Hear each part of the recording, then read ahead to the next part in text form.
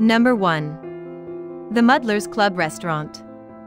Awarded Best Restaurant in Ulster during the very last Irish Restaurant Awards, the Muddlers Club is truly an experience you can't miss if you're in Belfast.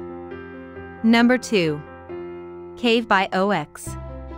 Next to the famous OX is Cave, a wine bar where you can enjoy appetizers accompanied by excellent wines. It was voted the best wine shop in Northern Ireland and also offers an exciting selection of Irish gin.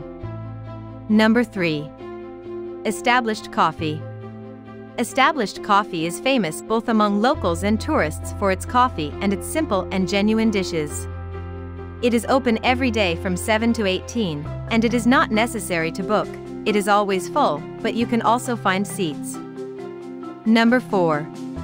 Hadskis. From the day of its opening, Hadskis continues to win prizes, including one for the best brunch in Ireland and Northern Ireland. Hadskis proposes a mixed cuisine that winks at the Mediterranean but does not miss traditional dishes forgotten elsewhere. Number 5. The Dirty Onion and Yardbird. The Dirty Onion is one of Belfast's many institutions in the Cathedral Quarter, a pub on two levels, hosting Yardbird upstairs, a restaurant where you will be served with locally sourced and free-range chicken and ribs. Number 6. Made in Belfast. Made in Belfast was one of the first restaurants to offer cuisine that is attentive to local ingredients but at the same time innovative and open to external influences. Number 7. Granny Annie's.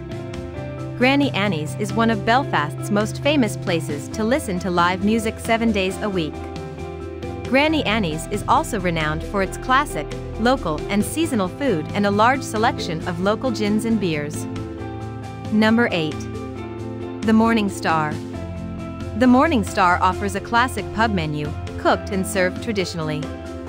Lamb is the main dish since the owners of the pub themselves breed local meat, but you cannot miss the meals containing Armagh County apples and cheeses made exclusively in Northern Ireland either. Number 9. Fish City. Lovers of the traditional fish and chips, this is the place for you. Only local fish, carefully selected and in season, which is battered and fried in the most traditional way possible and served as in the old days. Number 10. Mourne Seafood Bar. If you love fish, pay a visit to Mourne Seafood Bar.